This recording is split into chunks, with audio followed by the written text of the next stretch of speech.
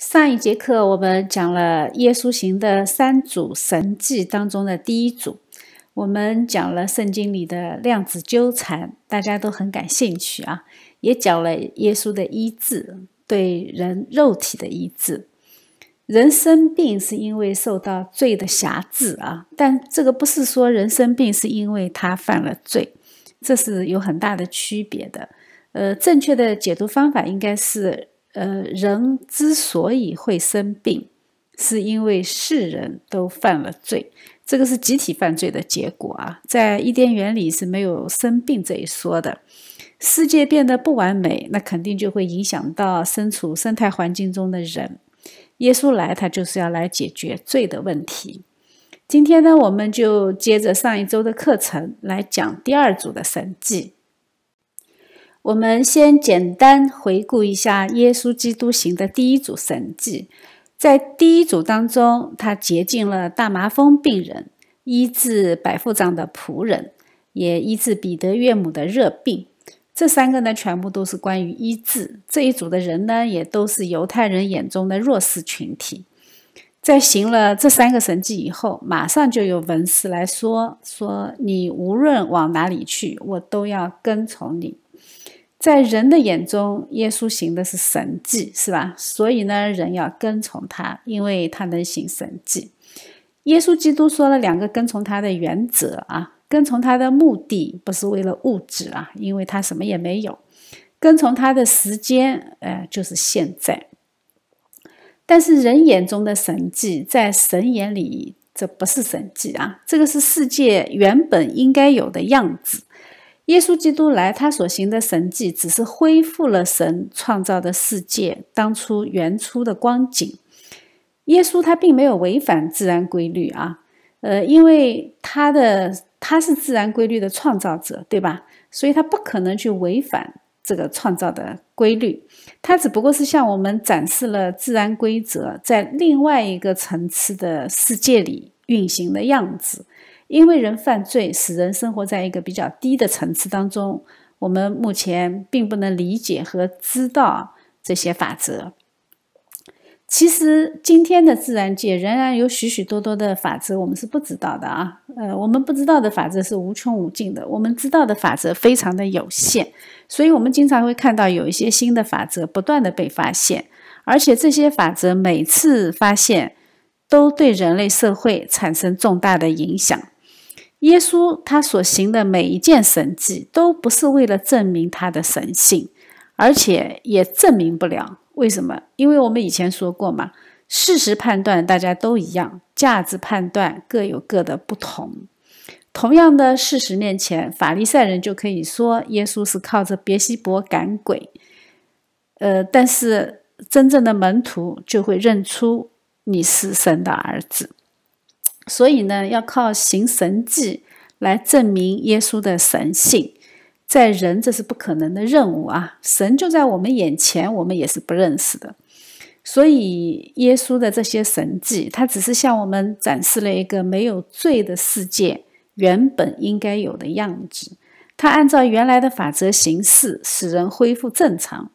大麻风它是违反原来的法则，得洁净是符合原来的法则。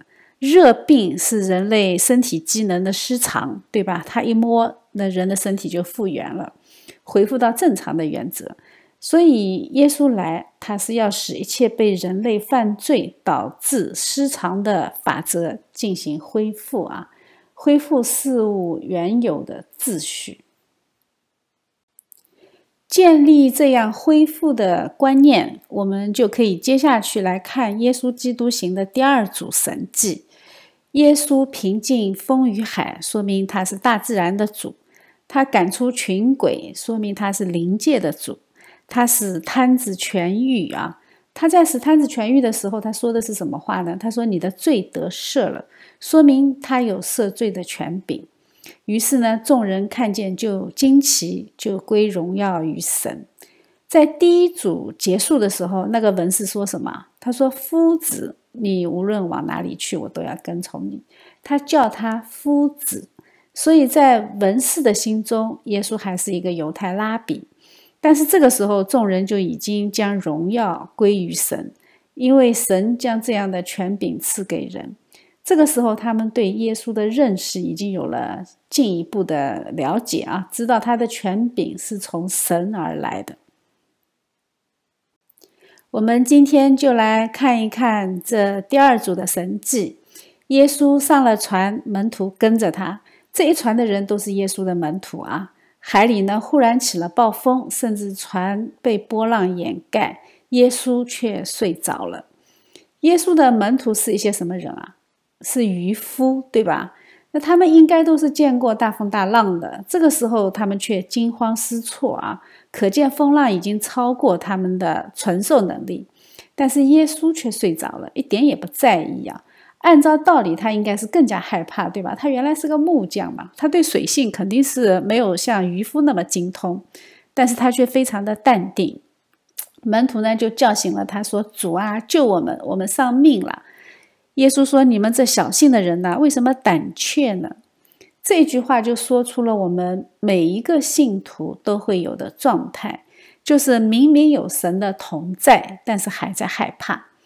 门徒这个时候的害怕只有一个解释啊，就他们不知道耶稣是神。那事实上也是如此。在耶稣斥责风与海，平静了风浪之后呢，众人稀奇说：“这是怎样的人？连风和海也听从他的。”那说明他们确实不知道耶稣是谁啊。神对人的带领，他是一步一步来的啊，他是渐进的。神眷顾我们的愚钝。低就我们的理解力和想象力。从这个神迹，耶稣告诉门徒，他是大自然的主。而在这里呢，我们也能看到我们对待信仰的两种状态啊。一种状态就是我信，所以我碰到困难，我去叫醒耶稣，对吧？因为我相信你能解决我的问题嘛，所以我有问，呃，所以我有困难的时候，我就来找你，我就把你叫醒。所以我信你，你快救我。这是一种信仰状态，但是这样的信在耶稣的眼中，居然还是小信的人，说明还有更好的信仰状态，对吧？那就是虽然大风大浪，我不用叫醒耶稣，耶稣既然是全能的神，他必定知道用什么方式，在什么时候来拯救我，所以我不用提醒他，我将一切都交托在他的手中。我安然等候，感谢赞美，那这样的信心是不是更美好一些啊？就像泰坦尼克号沉没的时候，甲板上的乐队他们在演奏的曲子是什么？那曲子的名字叫《离主更近》啊。所以我们在泰坦尼克号上就看到两种信仰状态：一种是祷告求神医治，然后拼命去找救生艇；还有一种是离主更近啊。平静风与海之后呢，耶稣就渡到海的另一边，遇到两个被鬼附的人。被鬼附这个事件，我们应该是很难理解的啊。在原文里呢，鬼和魔鬼是两个不同的词，所以呢，应该不是同一件事情啊。至于鬼是谁，有很多不同的理论。有些人呢说是堕落的天使，呃，背叛势力的首脑啊，呃，也就是被魔鬼所辖制的。呃，其实我们现实生活中遇到过被鬼附的人，我们民间听到过很多这样的事情啊，跳大神的。嗯，教会的牧者呢也遇到过不少啊，我听很多的牧者都分享过他们见到被鬼附的人的状态，说明鬼确实是可以制服人。那我觉得。鬼制服人，首先是人愿意去接近灵界啊，喜欢把自己的灵魂打开去接受灵界的事情。但是如果没有找到真神，你就很容易被邪灵所辖制。有些人确实他喜欢神神叨叨的东西，他特别喜欢去通灵，与邪灵来往，被邪灵诱惑，最后被邪灵捆绑。讽刺的是呢，邪灵恰恰是能够认出耶稣基督的。他们喊着说：“神的儿子，我们与你有什么相干？时候还没有到，你就上这里来叫我们受苦吗？”说明在灵界，一切答案已经很分明了啊。我们看不清楚，是因为我们在物质界；但是在灵界，一切没有秘密。鬼很清楚的知道耶稣是谁。只是他们已经没有被拯救的可能，呃，而我们还有被救的可能啊，所以鬼是很嫉妒我们的。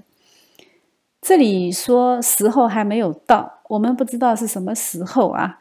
呃，耶稣也曾经提到过时候还没有到，说明神对一切都有一个时间的计划，而灵界对这一点，呃，对这一点他们也是很清楚的。所以鬼知道时候一到，他们就要被审判，就要受永远的苦。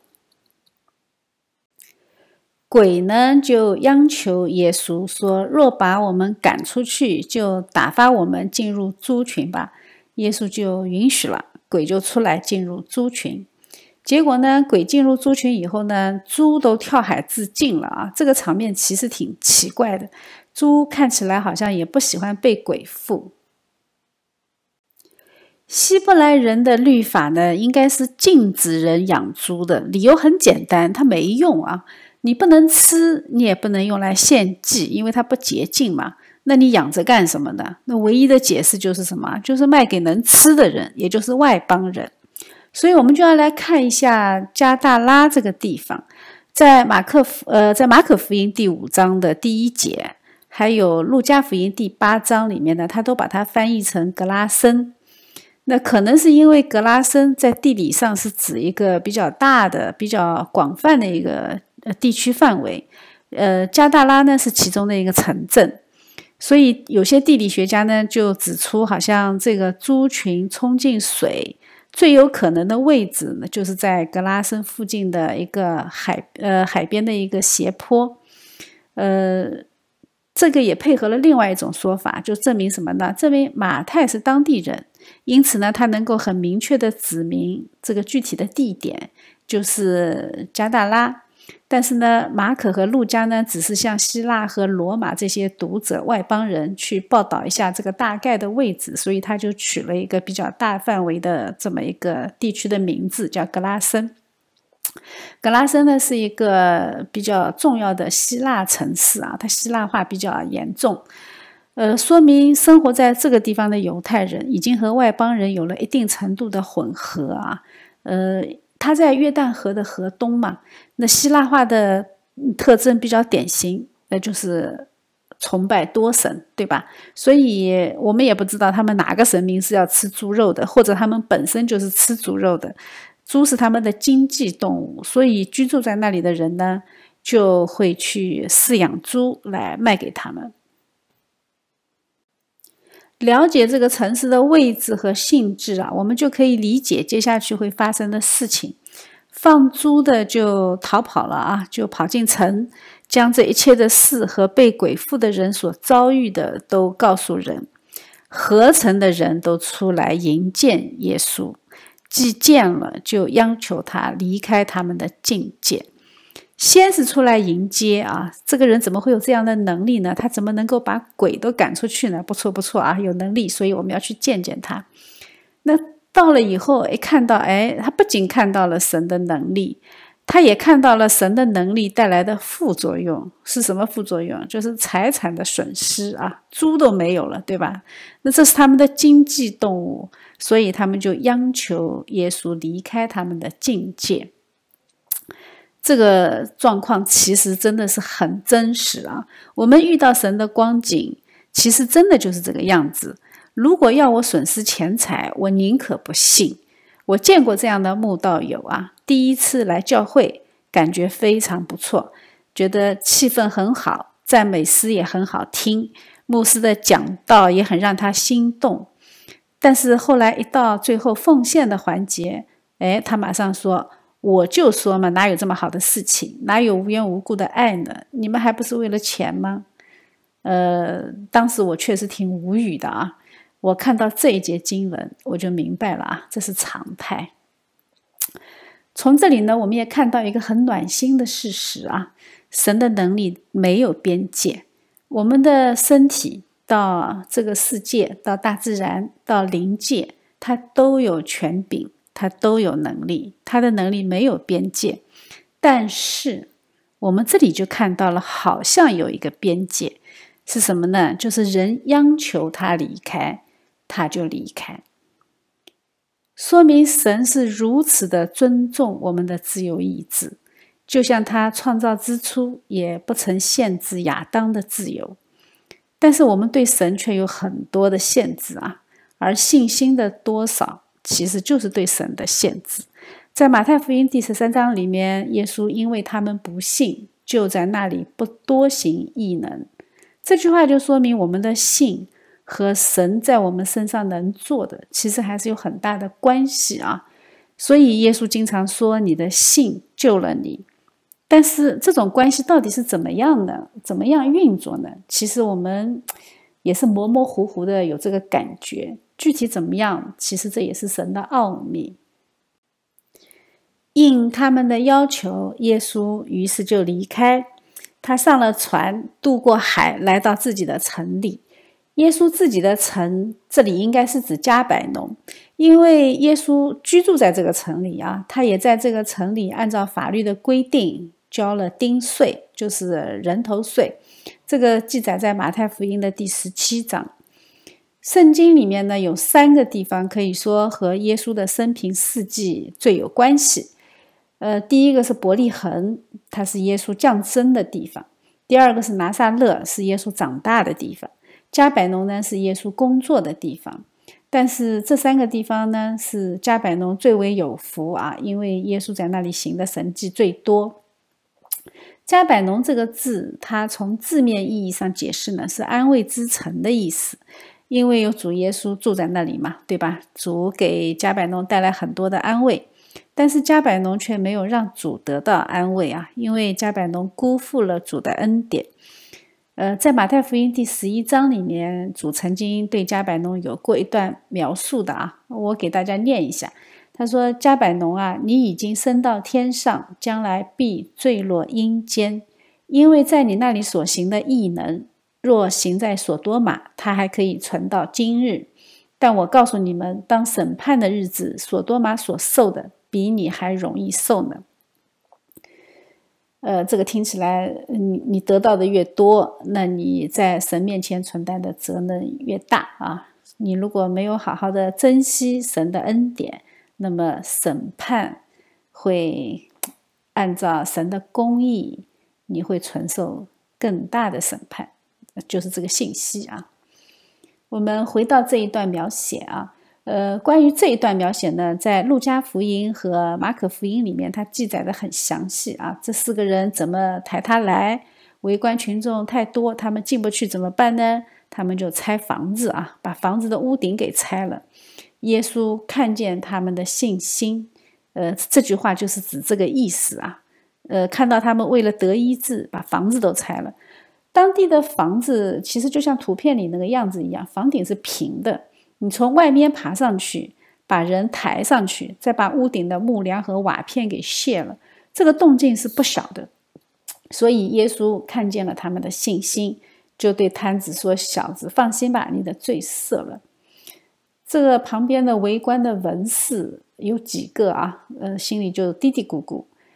呃，他们嘴上不敢说，因为围观群众人很多嘛，怕触犯众怒。但是他们心里嘀咕啊，说这个人说健忘的话了。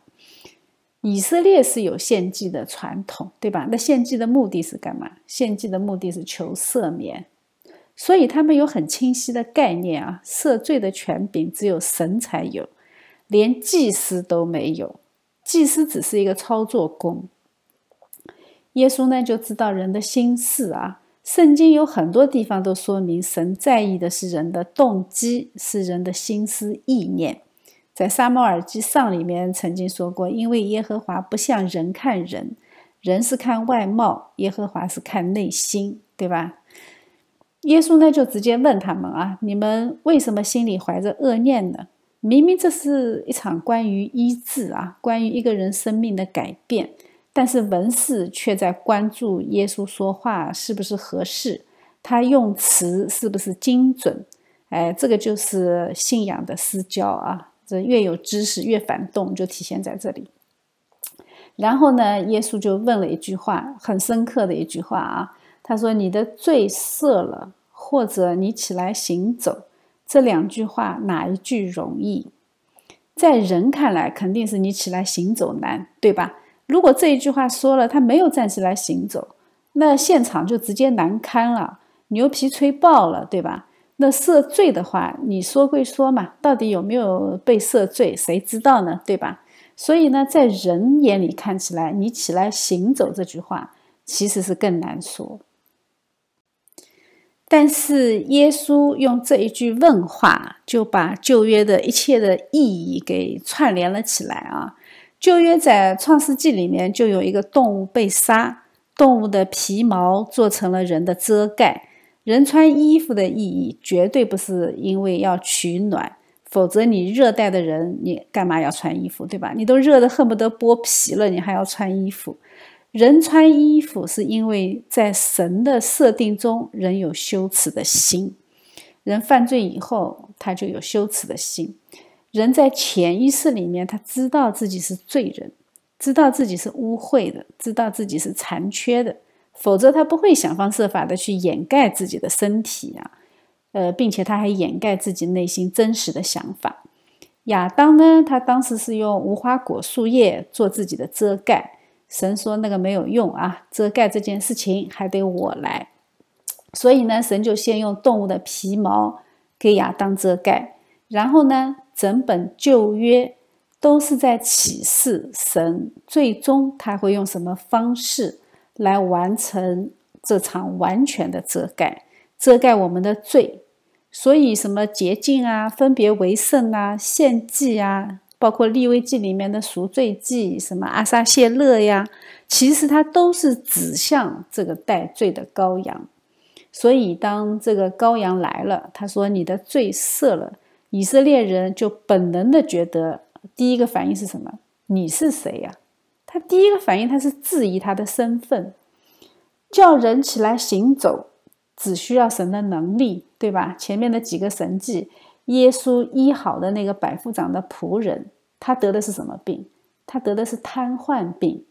但是耶稣只需要说一句话，对吧？所以百夫长的仆人病就好了，这是不需要怀疑的事实。但是神为什么不说你起来行走，而是说你的罪赦了？说明神需要人认识更多的关于拯救的原则，就是神来做的事情，它是关于赦罪的事情。关于赦罪，旧约整了这么多啊，花了以色列两千年的历史，呃，它其实就是为了告诉我们，赦罪是有方法的，神是公义的，赦罪必须要遵循神公义的原则。公义的原则在旧约的律法里面提到过啊，以眼还眼，以牙还牙，这些都是关于公义，对吧？那所以呢，所以以命换命就是神的公义。但是犯罪以后的生命没有一个配得上神的公义，所以神要亲自道成肉身来成为祭品。赦罪是需要神的生命，你摊子暂时来行走，只需要神的能力。所以，耶稣问这句话的意思就是：你要的是神的能力，还是神的生命？哪一个更容易呢？那我们现在就知道哪一个更容易呢？对吧？耶稣说：“但要叫你们知道，人只在地上有赦罪的权柄。”这句话才是意义所在。耶稣说：“一个完美的生命已经来到了这个世界上，而且他有赦罪的权柄。”耶稣说的话其实就是这个意思，而且这个权柄是他用生命作为代价，来将我们从最终释放。所以他对摊子说：“起来，拿起你的褥子回家去吧。”众人看见都惊奇，就归荣耀于神，因为他将这样的权柄赐给了人。这个时候的众人，他们对耶稣的认识就更加深了一步啊，知道人只在地上有赦罪的权柄。这个是神将这样的权柄赐给了人，但是怎么样做到，他们其实还是一无所知啊。呃，这个是十字架的原则，连门徒都是不知道的啊，也是不理解的，没有人能够理解啊。这个是在世人看作是很愚拙的道理，但却是十字架的大能。在这一个神迹里面呢，出现了四种人啊，一种是围观群众。呃，第二种呢是抬摊子的四个人，第三个呢就是那个摊子，第四个呢是文士。呃，当我们没有意识到自己有需求的时候，其实我们都是围观群众，在信仰外面围观啊，就是我们以前的样子啊，呃，就是所谓的慕道友。那当我们清晰的认识到自己需要神的时候，我们就成为摊子。我们想寻求神，但是不知道怎么寻求，也不知道到哪里去寻求。那在教会里面呢，更多的是那些抬摊子的人。其实我们也是抬摊子的人啊，因为信心，所以我们花时间、花精力拆房顶啊，为的是把人带到耶稣的面前。文士呢，就是那些挑毛病的人，这是需要警惕的啊，我们不要做这样的文士。呃，我们在信仰里面，如果越来越读圣经，最后越来越骄傲，最后越来越成为文士，那我们就很失败的啊。在信仰里面。你如果没有宽容的心，没有开放的灵，对弟兄姐妹充满爱的作为，我们竭尽全力的去挑毛病，这个是不受神喜悦的。我们从这里可以看到，神的启示是渐进的啊，就像他从旧约开始，花两千年去启示新约啊。他在这里呢，先从大自然开始，说明他是自然的主。呃，他是灵界的主，最后告诉我们他是赦罪的主。我们的神真的是很很有耐心啊，他也很贴心。他带领我们从认识一加二啊，应该说一加一开始啊，他不是直接简单粗暴的让亚当你吃的日子必定死，那说好的哦，呃，说话要算数的哦，你吃了对不对？啪，就一棍子打死。神没有这样啊。他最终的目的呢，是为了将罪人世界中属于他的人，要带回到他天国的世界里。谈完赦罪的权柄，耶稣呢就呼召了马太。这个呢，在犹太人眼里是很明显的罪人，对吧？我们这里也可以看出，犹太人也是蛮双标的啊。我们以前在课程里面曾经讲过人性的双标。呃，双标是罪人的典型特征啊！我为什么说犹太人双标呢？那马太只不过是帮罗马人收个税，对不对？他们就这么看不起他。那在旧约里面的约瑟怎么办呢？对吧？他在埃及做到宰相的。但以理怎么办呢？对吧？他是尼布甲尼撒的重臣，经历三个王朝：尼布甲尼撒、伯沙撒，还有古列王，对吧？那他都是服侍外邦人的。那还有以斯帖皇后和莫迪改呢，对吧？他们就不敢说人家是罪人。那这个时候，他们就肆无忌惮的说马太是罪人。所以犹太人挺双标的。可见啊，人如果没有基督，你光读圣经是没有用的啊。读来读去，你最后还是在自己的逻辑里面打转。没有神光照我们，我们都是一团浆糊啊。耶稣前面刚刚说过，人只有赦罪的权柄，这里就呼召了一个犹太人眼里的明显的罪人，显示出他来的目的就是来赎罪，来拯救罪人。而被拯救的第一步，就是要认识到自己是罪人。马太就是一个神使用的照妖镜啊，他把犹太人靠行为称义的概念彻底的扭转过来。神不是来招义人。所以你们的比翼大赛就可以停止了啊！他的宝血呢，是来终止人类自己的拯救方式，将救恩白白的赐给我们。人自我拯救的方式是什么？呃，都是自己拎着自己的头发，想把自己拎着离开地面啊，就是这种方式。耶稣呢，首先他要帮助犹太人认识到拯救的意义。拯救的意义是什么？是首先你要承认自己需要拯救，就像你看病一样的，你没病去看什么病，对吧？但是我们现在很多人在传福音的过程中能够看到这样的现象，很多人都觉得自己挺好的，根本就不需要信仰。哎，这个这个情况其实蛮普遍的。呃，耶稣呢，他在这里还指出另外一个重点啊，他说：“我喜爱连续，不喜爱祭祀。”这句话你们去揣摩啊！这句话其实犹太人如果仔细想，他一定会疯掉的啊！那你想想看，神叫他们呃呃献祭献了两千年，对吧？最后告诉你们说我不喜欢祭祀，我喜爱连续，那这不是可以把犹太人逼疯了吗？对吧？耶稣让犹太人去仔细揣摩这句话的意思，说明这句话表明了神最终的心意，就是祭祀只是手段，并不是神最终的意义啊！神最终的目的是拯救，神是喜爱连续的，神就是爱。他要恢复我们失去的爱心，所以他从爱罪人开始，到为罪人舍命上十字架。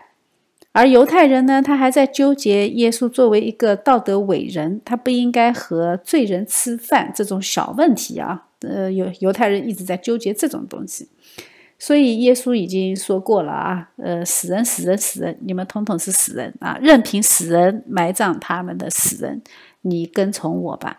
这个时候，你把前后的信息连起来看，就很清晰。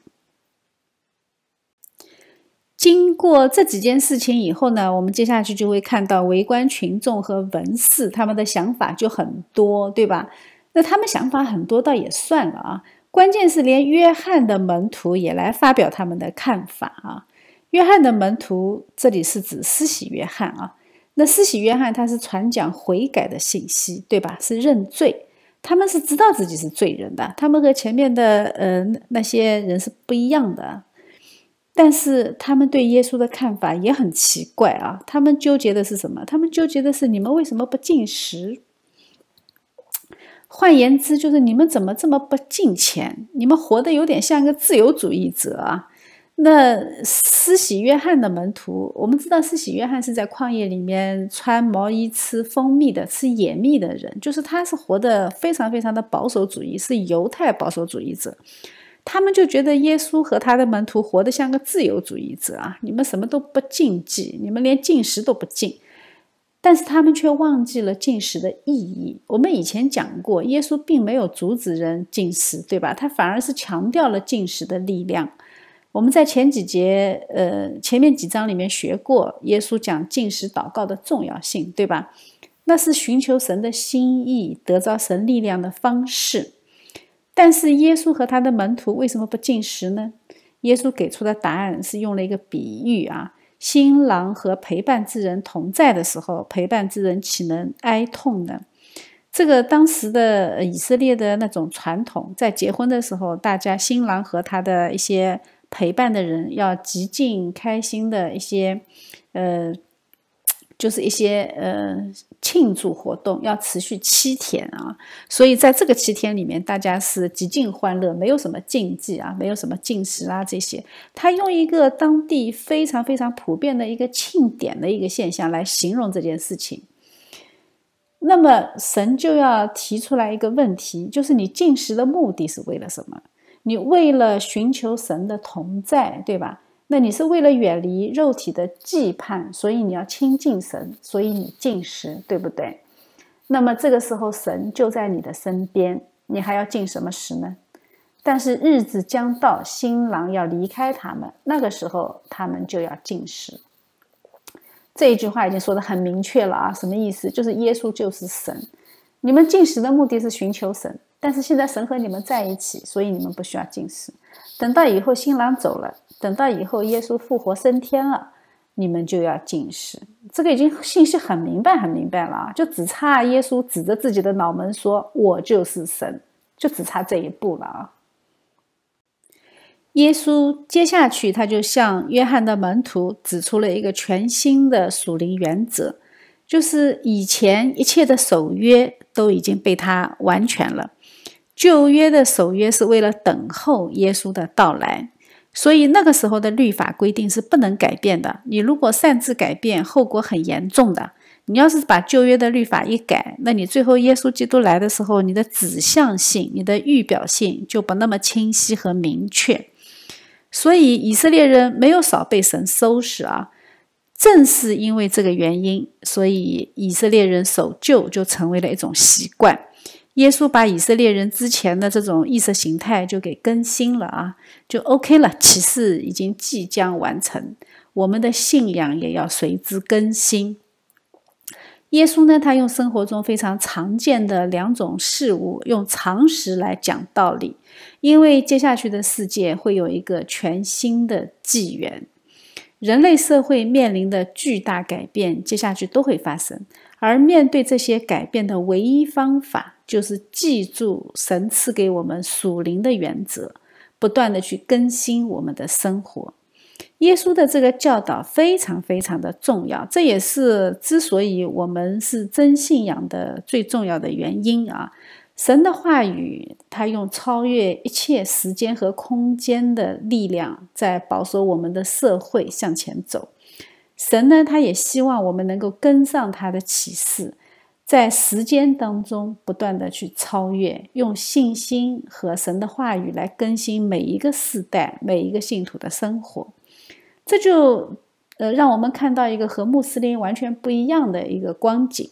穆斯林我们知道，他们到现在还在遵守穆罕默德公元七世纪的教导，但是这个世界已经天翻地覆，发生了很大的变化。所以，我们就很容易看见他们的现在的生活状态，就一直生活在中世纪啊，和这个世界有点非常明显的格格不入。信仰不是关于对圣经字面的理解，而在基督里，在圣灵的带领下，更新我们每一个时代的心灵，这个才叫信仰。神已经将属灵的原则告诉我们，所以我们才具备不断更新的生命力。我们的信仰生活是鲜活的，不是守旧的，不是沉闷的，而是活泼的啊！呃，圣经也说，神的话语是活泼的。这就能够解释为什么时代的进步都是靠基督徒来推动的，因为神的话是我们的动力。耶稣这里说的旧皮带指的是旧约时代的律法啊，旧约的律法不好吗？当然不是，对吧？那旧皮带为什么要存在呢？因为它要启示新约，但是新约耶稣基督亲自将旧约一切的重点指出来。告诉我们，信仰最重要的是认识神，而神就是爱。所以新皮带里装的是什么？装的是被神更新过的，呃，从旧约最初的时候就有的，但是一直被旧约的以色列人所忽略的，慢慢慢慢的都爱心就淡了。但是在这个混乱的世界当中。神再一次将他在旧约的启示重新来提醒我们，让我们在行使信仰的时候，在实践信仰的时候，始终不要忘记神就是爱。只有当我们认识神就是爱的时候，我们才会体会到爱的力量。否则，我们从常人的社会当中，我们体会到的是完全不同的状态啊！我们会感觉，往往爱让人软弱。因为爱，我们就心软；因为爱，我们就有弱点，就会让我们的仇敌找到我们的软肋，我们就会为爱受苦，被爱所困。这个是我们从生活当中看到的常识。但是耶稣说，神就是爱。当我们爱的时候，我们不计回报的去爱的时候，爱就成为我们的力量，成为我们的动力。爱就会成为摧毁仇敌撒旦计谋的武器，所以我们就只有记住神就是爱的时候，我们才会有爱的原动力。否则，爱会让我软弱，爱会让我有软肋，爱会让我受伤。我们会拒绝去爱，会提防别人那些假冒伪善的爱。这个是人类社会、罪人社会的常态。所以，彼得前书里说，最要紧的是彼此相爱，因为爱能遮掩许多的罪。这才是我们信仰真正的核心。神就是爱，而我们要相爱。哈利路亚！我们感谢赞美我们的神。